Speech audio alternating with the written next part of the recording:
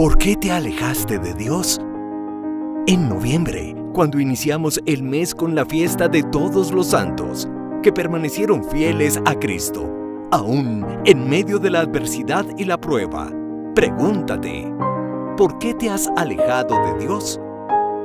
¿Qué te desanima y te roba la fe, la esperanza y el amor? La falta de tiempo, la aceptación como normal del pecado, la confianza excesiva y engañosa en los negocios del mundo, la superficialidad de las relaciones humanas, la disminución del número de evangelizadores que no da lugar a la fe, las ideologías ateas y del consumismo que roban a Dios de tu vida, te están ahogando en un vacío espiritual, moral y existencial. Recupera el sentido de tu vida. Enciende el fuego del amor que hay en tu corazón. Reconoce por qué la fe, la presencia y el poder de Dios reaviva la esperanza en el triunfo del bien sobre el mal y la victoria de la vida sobre la muerte.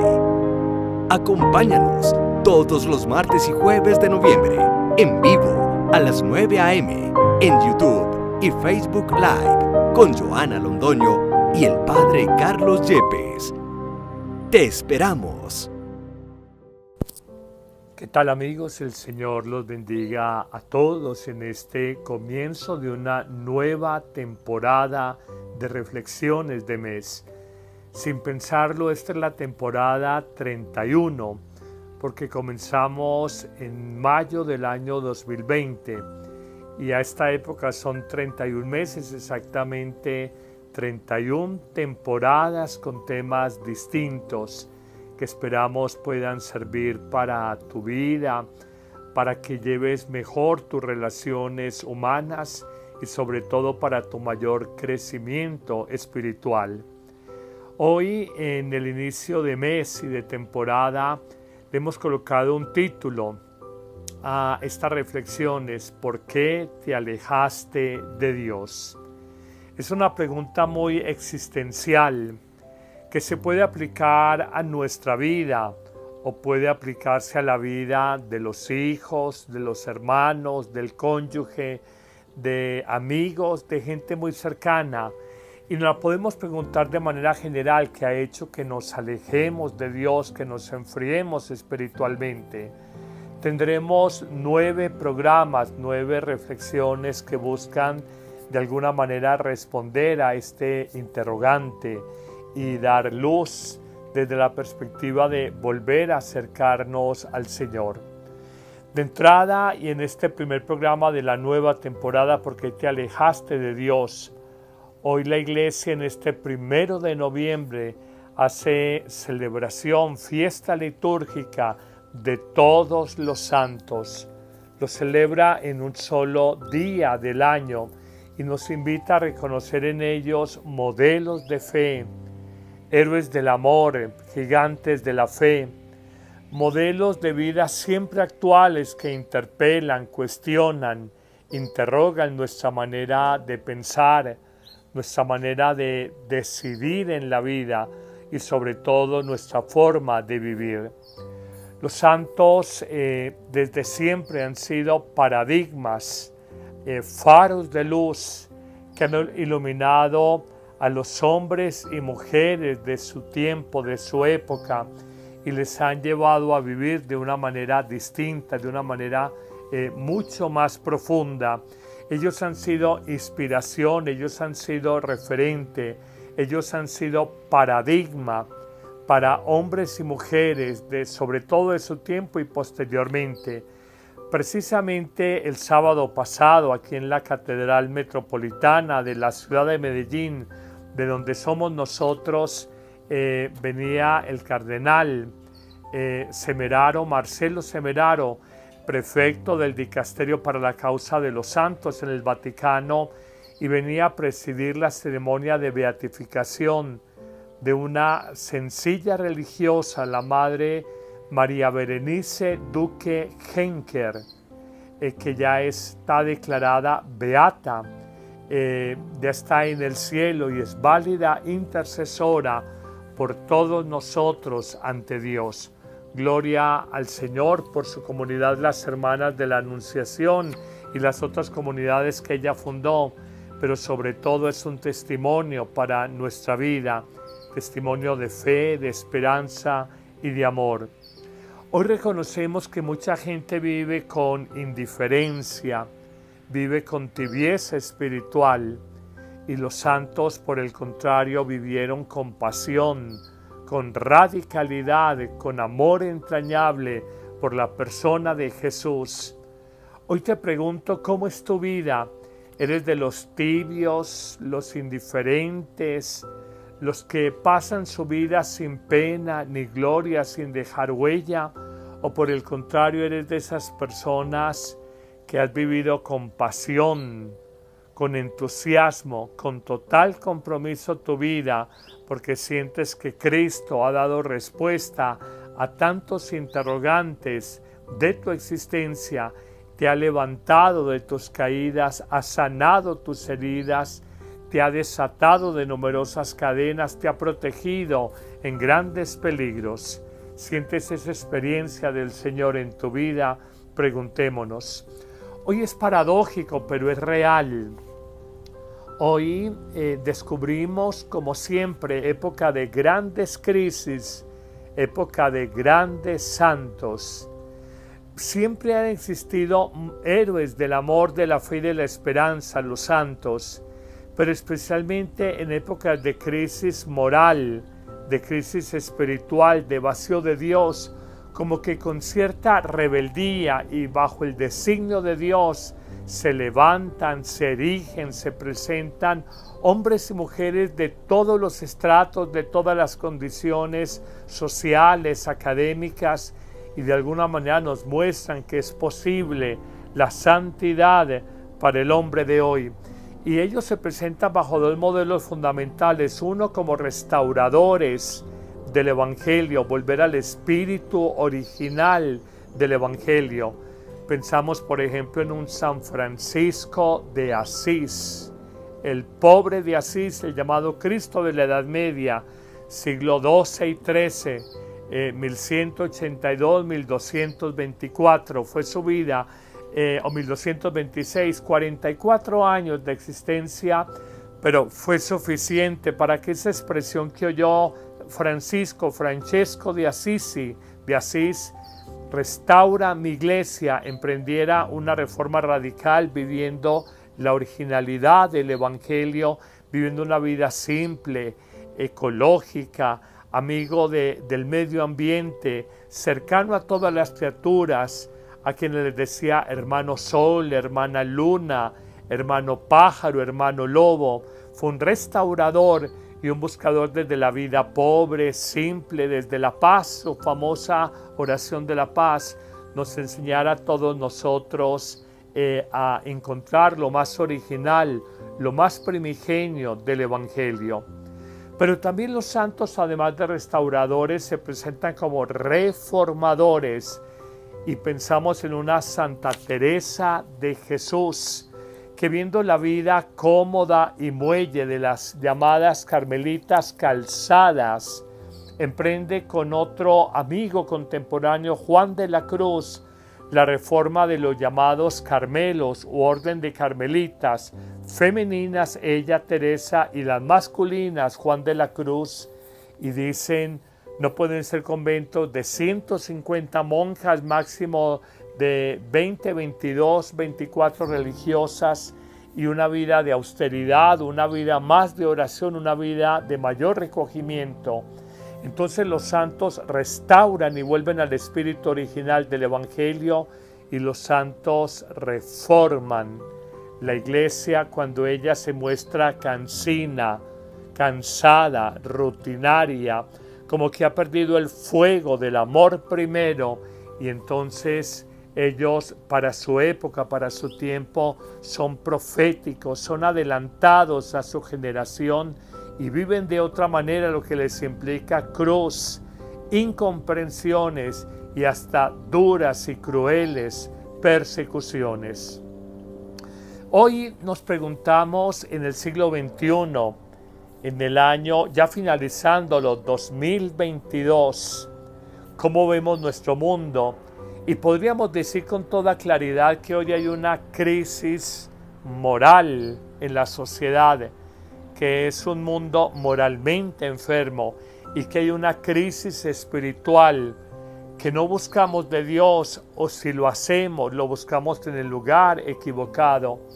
Frente a esa crisis moral y espiritual podríamos decir que hay una desconfiguración o desfiguración antropológica.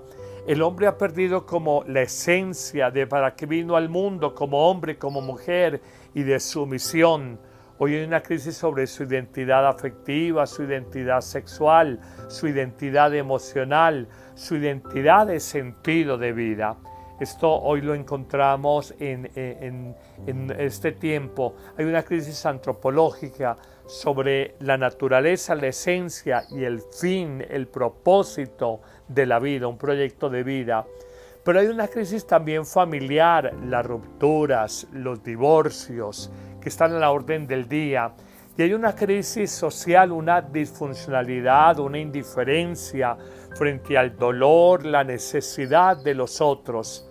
Por eso creo que esta época de grandes crisis es una época que Dios coloca para hacer llamamiento de grandes santos que vengan a restaurar ese origen o ese sentido más original y auténtico del Evangelio y que vengan a eh, renovar la iglesia, sus costumbres, sus lenguajes, su forma de anuncio, de predicación. Esto es muy bonito y lejos de mirar el mundo como todo está perdido, es todo lo contrario.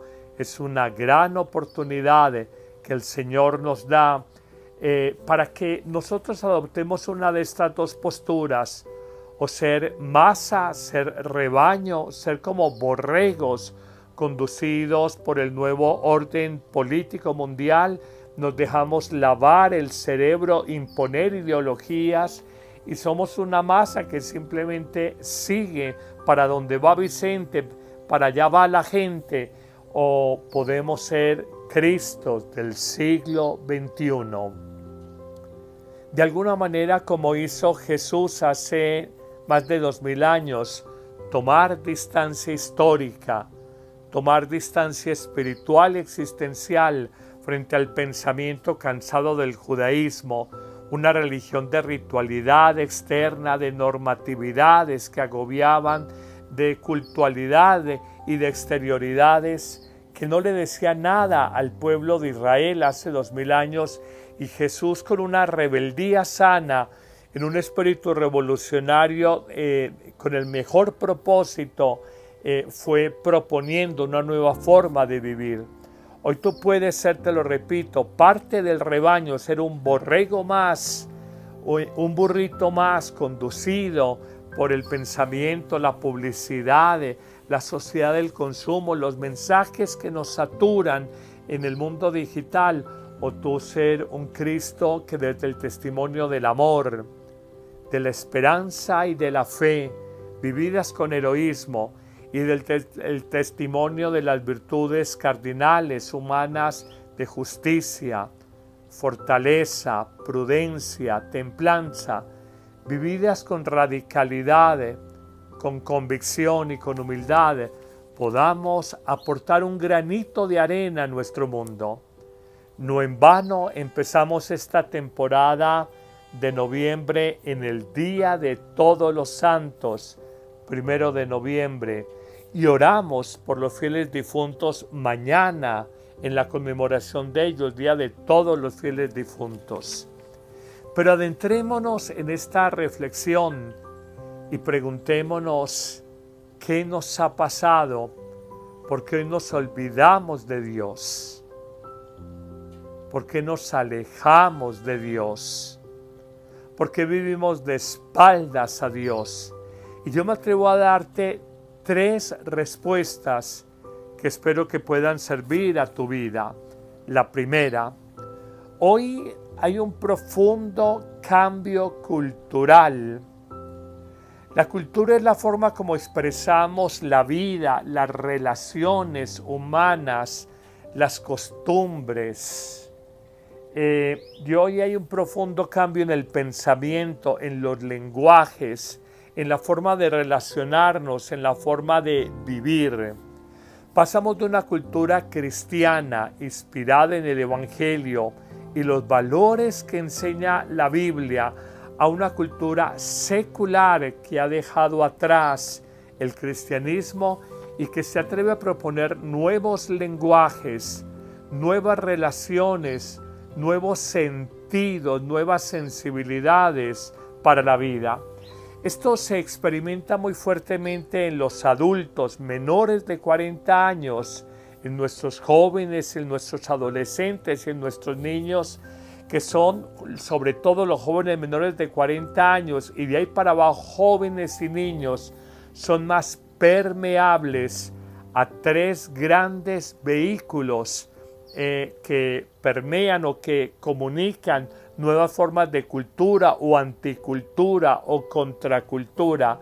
Esos tres vehículos poderosos, renovadores de cultura son los medios de comunicación tradicionales y los medios digitales, las nuevas tecnologías de la información, eh, nos llevan a pensar la vida de una manera distinta.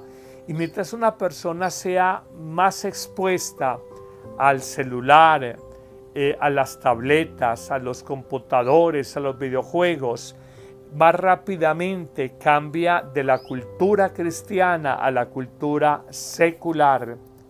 Pero además de ese sistema digital y comunicacional que nos ha cambiado la manera de pensar, de hablar, de comunicarnos y de ver la vida, hay otro poderoso sistema y es el sistema educativo. Hoy la forma en que se educa en las eh, jardines infantiles, escuelas primarias, escuelas secundarias, institutos tecnológicos, universidades, centros de pensamiento, nos hablan de una manera de vivir donde eh, pensamos de manera diferente, nos relacionamos, repito, de manera distinta. Entonces un primer sistema que nos ha cambiado el sistema digital y comunicacional, los grandes medios de comunicación y las redes sociales digitales hoy día. Un segundo vehículo que ha cambiado culturalmente el mundo es el sistema educativo. Y un tercer vehículo es el sistema legal, el sistema de leyes que obedecen, digamos, a eh, ideologías políticas, a intereses de los grupos de poder. Entonces, desde las leyes, desde las sentencias y fallos de jueces, de magistrados, de altas cortes, de altos tribunales, se nos impone una ideología política. Algunos dirán libertaria, otros dirán eh, democrática, pero que trae unos valores donde la familia ya no es tan importante, donde Dios no es importante, donde las formas tradicionales de relacionarnos ya no son importantes, el grupo, la solidaridad, sino que hoy se exalta la individualidad, el individuo por encima de todo y esto lleva a una libertad exacerbada. Esto se nota entonces en estos tres grandes vehículos. El primero decíamos el mundo comunicacional y digital, el mundo educativo y el mundo de las leyes, eh, las legislaciones de las naciones, de los estados. Y todos nosotros, sobre todo la gente más joven, es completamente permeable, manipulable a los valores, a, los principios rectores que hoy nos trae esta nueva cultura secular con el tiempo, con el siglo, que no es una cultura ya cristiana, no es una cultura religiosa. Eh, hay una segunda mm, condición de, este cambio cultural profundo y es que hemos pasado la cultura cristiana a la cultura secular y lo segundo, Dios ha sido desplazado de la vida de los hombres. Reitero, Dios ha sido desplazado de la vida de los hombres. De Dios siempre lo religioso se podía expresar públicamente. Hoy te dicen, no, eso no es correcto políticamente. Si usted quiere hablar de Dios, hágalo en su casa, converse con usted mismo y Dios se puede expresar en la esfera de lo privado, de lo personal, pero usted su fe pública no lo manifieste. De hecho, un gobernante no puede hablar públicamente de lo religioso. Él puede expresar opiniones morales, pero religiosas no. Puede expresar opiniones filosóficas, pero religiosas no. Puede expresar posturas éticas, pero religiosas no. Puede expresarse ideológicamente, pero lo religioso nos han dado a entender que entra en el ámbito del pudor. Como la sexualidad siempre ha sido pudorosa, hoy es totalmente pública y abierta eh, nos desnudamos públicamente, nos desnudamos con fotos y videos en redes sociales, lo que era de pudor y personal pasó a público y lo que era público y social, la religión pasó al tema del pudor, de lo íntimo y de lo personal. Padre, eso es como los pájaros tirándole a las escopetas, pues más o menos. Hoy cualquiera quiere protestar, entonces se desnuda y se toma las fotos y las sube a redes y, ya hoy nos acostumbramos a eso y ya un desnudo no dice nada. Y hoy tú quieres expresar algo religioso, no, usted no hable de lo religioso. Dios entra a lo privado, Dios es desplazado, Dios ya no es importante en la vida pública y social. Y esto ha llevado cátedra religiosa o clase de educación religiosa en los colegios. No, eso no. Eh, estatuas eh, religiosas o de santos, no. Crucifijos en instituciones públicas, no. Porque eh, lo religioso es como para lo privado y aún nos han llevado a creer bajo argumentos sofísticos, lo religioso es para la gente inculta, la que no es académica, la que no tiene formación intelectual de nivel alto, la que no es cultivada. Eh, lo religioso es para el pueblo, para los ignorantes, para los viejos, los abuelos, pero yo si estoy joven, si soy universitario, si soy intelectual, si soy progresista, si soy de avanzada, lo religioso no es para mí. Date cuenta cuando hablas con un joven o un adulto joven o una persona universitaria, es muy probable que ella, sin decirlo de manera explícita, diga, no, es que yo no creo en eso, eso era para los abuelos, eso era para mi mamá.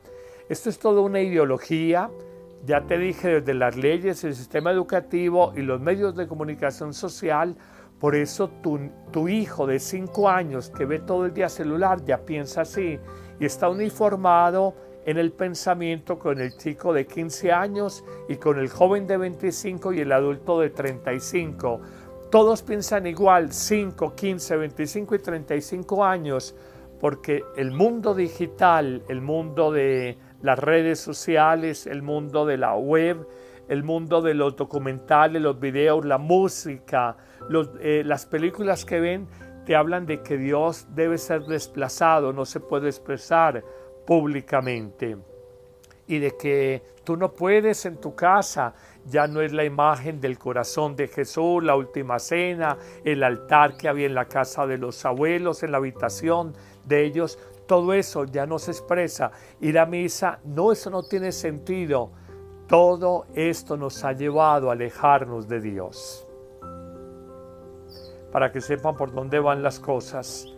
Mm, en un colegio tú no puedes, hoy, hoy te quieren tutelar en un colegio si tú hablas de Dios, por una tutela, una acción administrativa constitucional donde yo en mi libertad, en mi autonomía que se exacerba, se dispara hasta el extremo, nadie me puede hablar de Dios porque me parece imposición. Si puedes hablar de ateísmo y pueden tratar de imponerte el ateísmo, el agnosticismo, pueden imponerte el no creer y burlarse de tu religión, pero tú hablar de tu religión, tú no puedes, porque te van a decir que estás atropellando el pensamiento ateo o agnóstico de otros. Es un poco como la ley del embudo. Si yo no creo eh, la boca amplia para mí, pero si yo creo la boca estrecha del embudo, eh, y eso nos dejamos meter los dedos en la boca y lo hemos ido aceptando sin darnos cuenta. de los hombres y mujeres que nacimos en una cultura cristiana y religiosa. Y ahora nos preguntamos, pero ¿por qué los hijos no buscan de Dios? no van con nosotros a la Eucaristía, no hacen una oración, hablarles de leer un salmo de la Biblia les parece ridículo, hablar de invocar a la Virgen María les parece tontería, solo entienden de ir a comer hamburguesa con papitas fritas y una gaseosa, un refresco, solo entienden de ir a divertirse, de ir a pasear, solo entienden de ir de compras y consumir, comprar, pero, pero no entienden de una dimensión trascendente de la vida porque la ideología de hoy nos metió que solo somos materia, no somos espíritu. Y si buscamos espíritu, busca yoga, busca meditación trascendental, busca espiritualidades orientales, el zen, eh, busca todo esto, pero el cristianismo está mandado a recoger en la cultura secular de hoy, desde la ley, desde la educación y desde los medios digitales y medios de comunicación social. Finalmente, nos han llevado a creer en este cambio de mundo y de cultura que Dios es innecesario.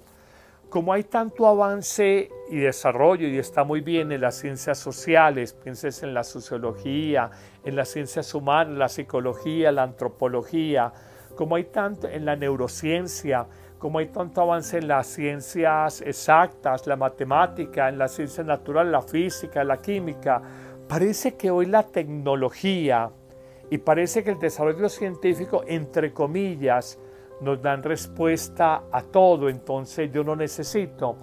Ya si tengo un problema, ya no busco el sacerdote, sino el psicólogo. Si estoy deprimido, no busco el sacerdote, el pastor de almas, sino el psiquiatra si tengo un problema ya no busco al sacerdote, sino el terapeuta de familia, porque la ciencia desde lo social da respuestas y hay verdad en esto parcialmente, porque el pastor de almas o en general el hombre del espíritu, más allá de lo biológico que atenderá el médico, más allá de lo emocional y psíquico que atenderá el psicólogo o el psiquiatra, el pastor de almas atiende tu mundo más profundo, el mundo espiritual, el mundo de tu alma espiritual que hoy pretendemos negar. Pensamos que solo somos biología, materia biológica y que solo somos psiquismo y emociones. Y olvidamos que más profundo que la biología corporal, más profundo que el psiquismo y las emociones, es el mundo espiritual que cada uno tiene donde vive, donde habita Dios, y hoy lo desconocemos, lo ignoramos o lo hacemos a un lado. Esto nos ha llevado a que hoy tenemos un mayor bienestar material y hasta muchas ayudas terapéuticas y psicológicas. Pero en el hombre de hoy, aunque hay más bienestar, hay menos bien ser espiritual. Lo digo en otras palabras, Hoy en el hombre hay más crisis de sentido de vida. En el hombre de hoy hay más suicidios. En el hombre de hoy hay más búsqueda de autoaniquilación frente a cualquier dolor. Practíqueme en la eutanasia, demando para que me practiquen el suicidio asistido. El hombre hoy frente a cualquier dificultad o dolor se escandaliza, se acobarda, y como no tiene sentido de trascendencia y olvida que en el vivir hay sufrimiento y como no quiere sufrir ni sabe cómo manejar el sufrimiento, se siente encarnado, se siente, perdón, encartado y entonces no manejo mi depresión, no gestiono mis ansiedades, no domino mis crisis de nervios, no puedo dormir, eh, y en toda esta situación no le encuentro sentido a la vida, yo quiero acabar con mi vida porque matamos a Dios, porque lo sacamos de la vida, porque el mundo y el nuevo orden y la nueva ideología nos dice, Dios no, no lo necesita, usted no necesita la religión, Usted no necesita de los curas representantes de la religión. Eso está mandado a recoger el desarrollo de la tecnología y usted tiene tecnologías a su alcance, el desarrollo de la ciencia y usted tiene conocimiento, usted haya pasado por dos carreras universitarias, tiene un posgrado, un doctorado, usted ya no necesita de Dios. Usted tiene dinero, usted tiene todo en la vida, ya no necesita de Dios. olvidando que el ser humano no fue creado solo para este mundo, sino que como dicen pensadores inmensos como San Agustín de Hipona, nos hiciste Señor para ti y nuestro corazón andará inquieto hasta que no descanse en ti. Es que el corazón humano es como un pozo sin fondo y las cosas finitas del mundo, las cosas finitas, todo lo del mundo, dinero, bienes, fama, amores humanos que van todo lo finito del mundo, no es capaz de llenar ese pozo infinito que es el corazón humano, que solo lo llena otro infinito, Dios y su presencia amorosa. Pero eso hoy lo olvidamos y hay que decirlo. ¿Por qué nos olvidamos de Dios? ¿Por qué te alejaste de Dios? El mundo nos cambió, hay un cambio cultural. Sé consciente de esto y aprende a ser más crítico frente a todo ese lavado cerebral, lavado cultural de un mundo que, claro, nos ofrece más bienestar material, pero hemos perdido el gusto, el sentido profundo de la vida. Nos encontraremos el próximo jueves para una nueva reflexión y por ahora con todo cariño que el Señor te bendiga en este día en abundancia, en el nombre del Padre y del Hijo y del Espíritu Santo. Amén. Paz y bien para todos.